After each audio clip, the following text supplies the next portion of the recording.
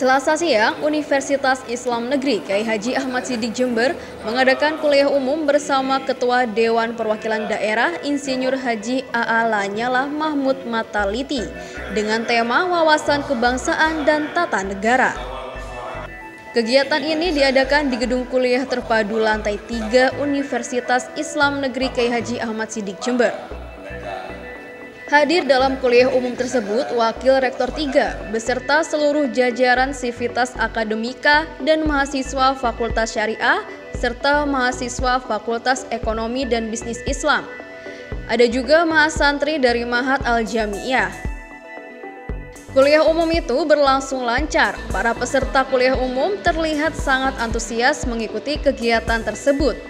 Selain itu, mereka juga mendapatkan buku materi yang berjudul Peta Jalan Mengembalikan Kedaulatan dan Mewujudkan Kesejahteraan Rakyat. Ketua DPD RI menyampaikan pentingnya wawasan kebangsaan dan tata kelola negara Indonesia. Menurutnya, melalui situasi kebangsaan dan membaca tantangan masa depan, ada yang harus dipersiapkan untuk menghadapi perubahan-perubahan di masa depan khususnya di bidang ekonomi dan hukum. Menurutnya, dalam konstelasi ekonomi dan hukum perlu adanya perbaikan untuk kesejahteraan masyarakat Indonesia, seperti tindakan mendasar untuk melakukan reformasi di bidang ekonomi dan hukum. Sementara itu, mahasiswa dianggap memiliki peran penting dalam mensosialisasikan perubahan ini